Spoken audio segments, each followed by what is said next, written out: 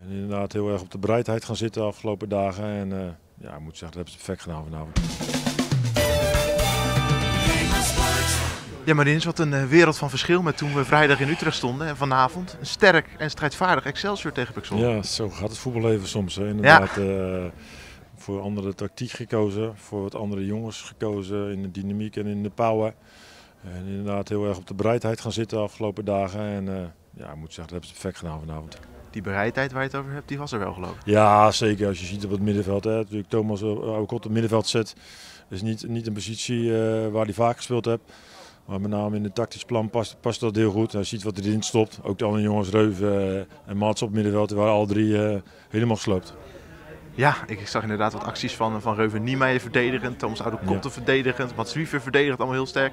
En Oude Kotte bewijst ook aanvallend te waarde met een, uh, hij gaf zelf al toe geen bewustzijn. Maar, nee, het was een klein gelukje inderdaad, maar het is hem wel van harte gegund. Want uh, als ene op een top prof is, is, is Thomas wel en hij speelt niet altijd. Dus wat dat betreft ken ik wel altijd van hem op aan.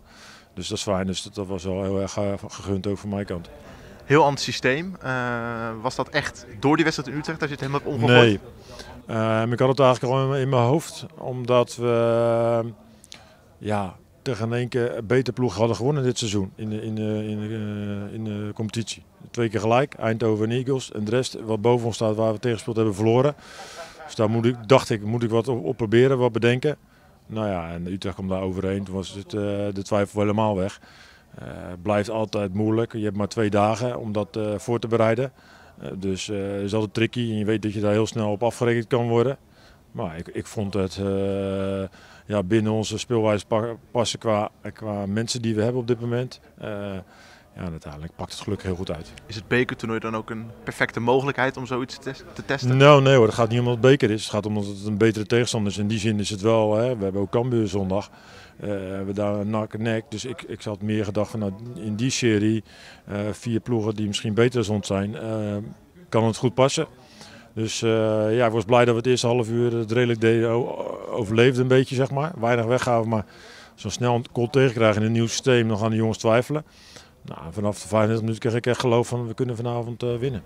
Had je ook in het eerste half uur zag je jou vaak dat je echt naar de jongens moest schreeuwen van kom op naar voren, dat ze een beetje bleven hangen, dat er misschien nog een beetje angst was, maar dat nou, het naarmate de wedstrijd vorderde wel een beetje uitkwam. In, in, in dit systeem is cruciaal dat je door durft te dekken. Hè. Je staat wat minder in zone en je moet door omdat je genoeg mensen achter je hebt. Dus uh, daar, daar moet je vertrouwen in hebben. En we hadden uh, op links de eerste half uur wat moeite. Uh, dat deed ze goed thuis worden. Daar kwam ze een keer goed, goed door. Maar uh, ja, je, je, moet die jongens daar ook een beetje mee helpen in het nieuw systeem. Ja, als ik zie wat ze uh, tactisch geleverd hebben vandaag, binnen twee dagen, ja, dan is dat wel een heel groot compliment aan hun waard. Ik zag de bank en uh, jou ook behoorlijk opspringen naar ja, die 2-0. De natuurlijk. ontlading was groot. Maar het doet ook wat als je drie keer op rij, rij verliest. Dat, dat, je stopt er heel veel in. Het gaat uiteindelijk om het winnen. Nou ja, en daar ben je mee bezig. Ja, als dat niet lukt, is dat heel teleurstellend. En wat ik al vandaag in de bespreking zei, jongens, ook het voetballeven kan heel anders eruit zien na, na vanavond. Want dan, als we winnen, dan, dan, ja, dan, dan, dan poetsen we het een beetje weg. Het, het gevoel voor onszelf, maar ook naar de buitenwereld. Ja, dat is gelukkig gelukt. Zondag tegen Cambuur, je haalde het al even aan.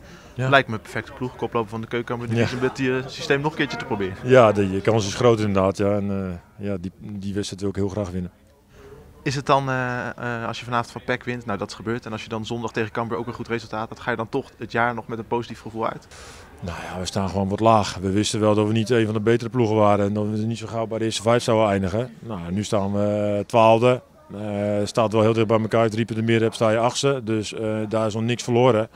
Alleen ja, het, het, is wel met ups en downs natuurlijk. En dat blijft wel grillig met deze ploeg. Wat dat betreft ja, zo'n overwinning kan nu wel lekker zijn. Maar overal is het dan nog uh, een klein beetje teleurstellend. Succes in je geval.